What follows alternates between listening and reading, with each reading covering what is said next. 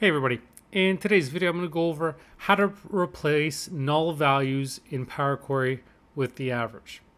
So when you're doing data analysis and you've got a data set, you know, there, there can be instances when, you know, you're, you're missing data and you're not sure how to best replace it.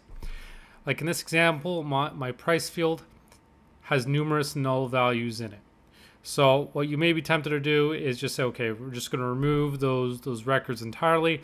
But then the problem is now you're you're losing all this other useful uh, data along with it.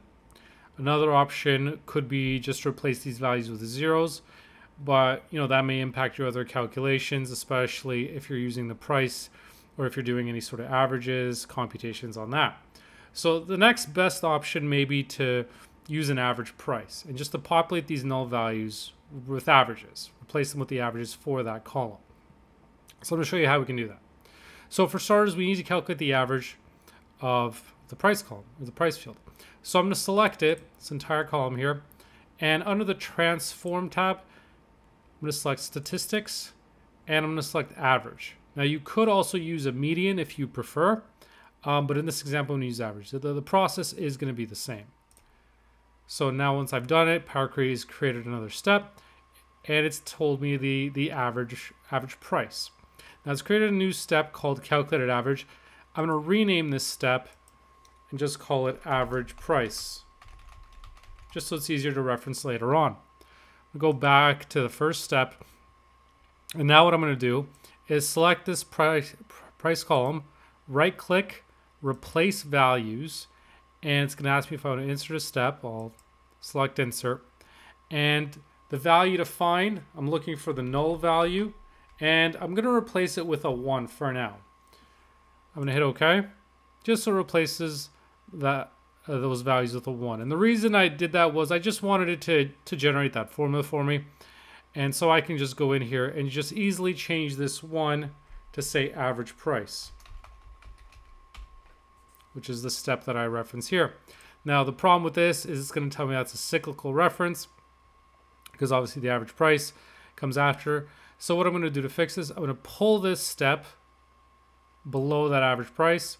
Now the problem here is now it's referencing the average price step, which is not what I want.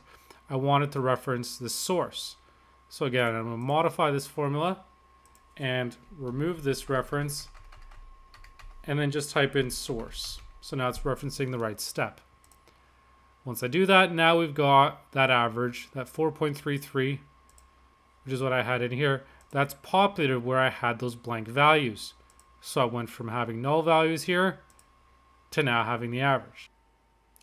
So I like this solution the best just because we're putting in an average, we're not getting rid of any data, and it's a lot lot cleaner to, to keep everything intact the way it is. And as you can see, it wasn't a really really complicated process to do this.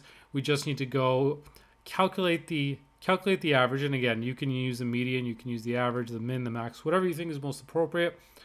You know, save that step into there, rename it to something easier. And then just use that replace value formula to reference that initial data. Replace the null values with that average price, that average whatever, or median price, whatever you, you decide to, to set up. But doing it this way, you can replace it. You don't have to worry about zero values. And you've got a potentially better solution for your data set.